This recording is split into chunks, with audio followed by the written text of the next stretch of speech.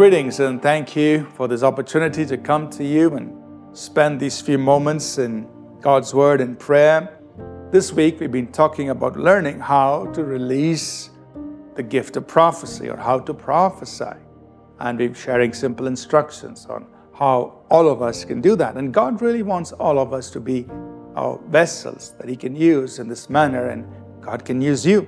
So there's not no reason why you should hold yourself back because the Holy Spirit is in you and upon you. So, we've been talking about various steps that we can take in order to minister to other people through the simple gift of prophecy. Today, we want to learn one more instruction, which is don't mix the prophetic word. In 1 Corinthians 13 and verse 9, the Apostle Paul says, For we know in part and we prophesy in part. In other words, God knows everything, but He only reveals bits and pieces to us. God is omniscient, we are not. He only what He reveals to us, only what He impresses on us, we can speak. So when you pray and say, God, are you saying something to such and such person?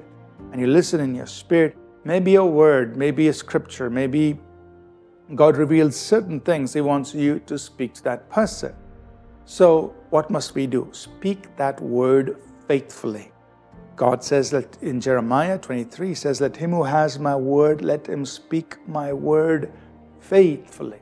So you must, you and I, we must commit ourselves to speaking what he reveals to us faithfully. Don't add to it, don't subtract from it in the sense of share everything that God has put in your heart. Now, the Apostle Paul, like we said, he, he stated, we know in part and we prophesy in part. That means God only reveals few things to us. And we speak those few things. We speak the things that He reveals. Now, don't try and add to that. You know, don't try to spice up your prophecy. Don't try to, you know, un- unnecessarily add parts that God didn't give you.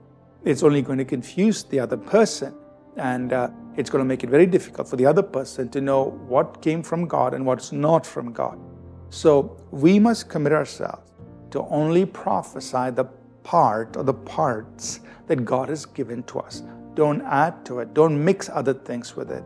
You know, sometimes when you look at the uh, look at the person, uh, you have some impressions, you have some prejudices, uh, you know, some your some of your own thoughts and uh, some maybe some information you already know about the person.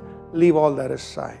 Only speak the things God has given to you. Just communicate that. We know in part and we prophesy in part, and that's all God wants us to do. Let's do our part. Let's pray.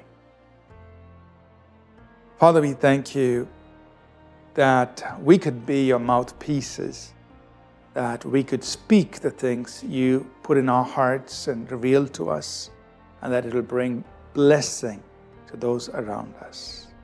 And let it just glorify you. In Jesus' name, amen.